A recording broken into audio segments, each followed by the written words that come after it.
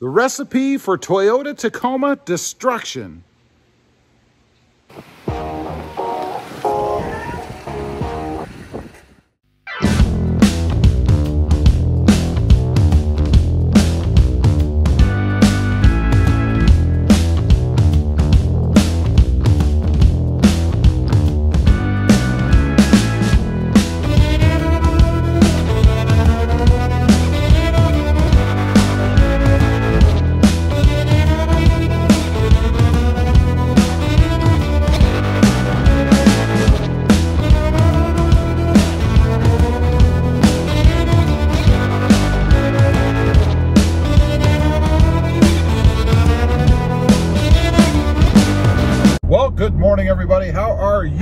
Today?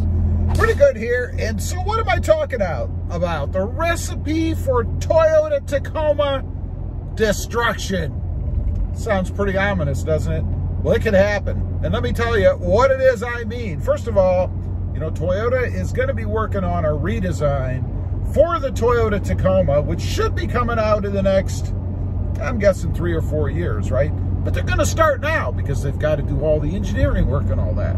So this video is kind of directed at you Toyota Tacoma engineers out there. This is the recipe for Toyota Tacoma destruction. Number one, shortchange us on power. You know, there's all kinds of talk out there about hybrid systems and battery powered trucks, all this stuff, right? Turbos. Shortchange us on power on the Tacoma, and we're not going to be happy. We're not going to buy it. At least I'm not going to, right? I mean, I think the Toyota Tacoma right now is borderline. Certainly, Toyota isn't going to give us even less power, right? We need to cut that out of the recipe right now. We need more horses, more power in the Toyota Tacoma. It doesn't take a lot. 50, 75, 100 horsepower. That's all it really would take. Or at least give us a tune. That was a big bump. Or at least give us a tune that's going to utilize everything that this motor can offer now. That's all we really need. Step two of this recipe for Toyota Tacoma destruction. Make the Toyota Tacoma fugly. I mean ugly. You know, right now, the Toyota Tacoma consistently scores five stars out of five stars when it comes to appearance, to looks, right?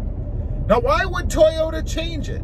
You know, I have a theory that they're going to base this new redesigned Toyota Tacoma on the Hilux, or the Hilux. That's going to make it fugly. Now, I don't have a big problem with the looks of the Hilux. I just don't want to see it on my Toyota Tacoma, right? So I think that if they include fugliness in the recipe for the Toyota Tacoma, the redesigned upcoming Toyota Tacoma, it's going to be a bad thing. We're not going to buy it. Well, at least I'm not. Number three, the third ingredient in this recipe for Toyota Tacoma destruction is to force feed us auto stop technology. You know, it seems like all the manufacturers are going to that, right?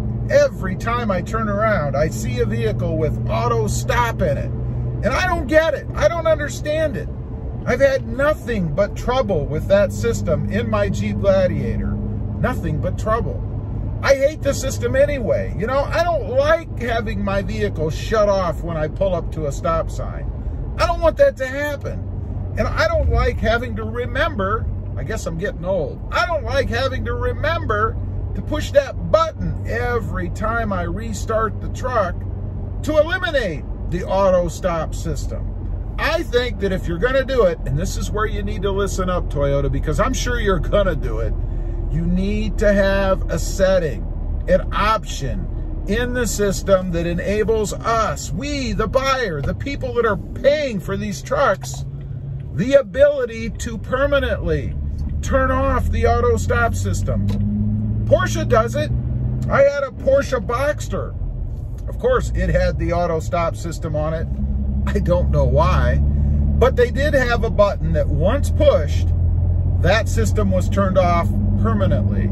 I didn't have to do it every time I restarted the car. It was off permanently. So Toyota, if you're listening, don't include auto stop as one of your ingredients in your recipe for the new Toyota Tacoma.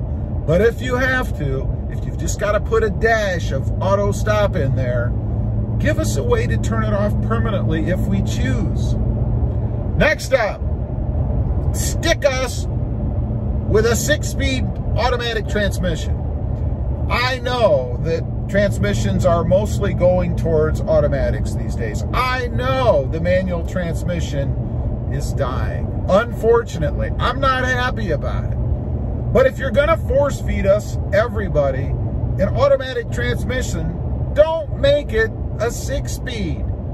We've got to go to at least an eight, maybe a 10. I don't know. The eight speed that I have in my Jeep Gladiator is fantastic. And there's no problems with it. Now, if Fiat Chrysler can manage to utilize an eight-speed transmission in their products, you can't tell me that it's not good enough for Toyota. I mean, it works. It works fantastically. The power delivery from the motor to the ground in the Jeep Gladiator is awesome. There's absolutely no reason why one of the ingredients in the recipe for the new Toyota Tacoma can't include at least an eight-speed automatic transmission. Number five, and this is for the purists out there, like me. Don't kill the manual transmission. If you're gonna leave an ingredient out of the recipe, leave out auto stop, but make sure you include a manual transmission option. Now, maybe it's a build only option. That would be fine you know, if you want a manual, you have to order it to get it. I'm not saying that that's my preference, but I'm saying as compared or opposed to completely destroying it, completely leaving it out of the recipe, at least keep it as an option out there. Kind of like a dash of pepper, right? If I want to season my steak a little bit, I can do it if I choose. Let's make it the same way for the manual transmission in the Toyota Tacoma. Let's not kill it all the way off. Nobody wants that. I don't want that. I want to still have the option to purchase a manual transmission in the Toyota Tacoma. And I'm not even saying you have to do anything more to it. You don't have to spend any R&D. You don't have to invest in it because I know ultimately it's going to completely disappear anyway. But leave it as a viable, a possible ingredient out there in the recipe for the redesigned Toyota Tacoma I know there's a lot of other people out there who want it, and I'm one of them. Anyway, I just wanted to run through the recipe for Toyota Tacoma destruction, that if Toyota chooses to follow this recipe and bake that cake, we're not going to eat it. What do you think? Leave a comment, let me know. Would you be upset if Toyota follows this recipe that I've laid out? I'd be curious to know. Also, if you're interested, check out my other channel. It is Robmotive JT, all about my 2020 Jeep Gladiator. Don't forget to click that notification bell so that you don't miss out on any upcoming videos. And do me a favor, smash that subscribe button on the way out. Thanks for watching. Stay safe out there. Bye.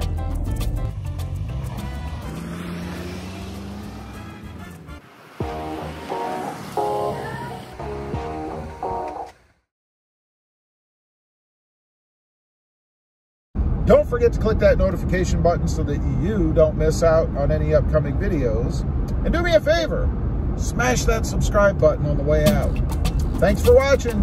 Stay safe out there. Bye.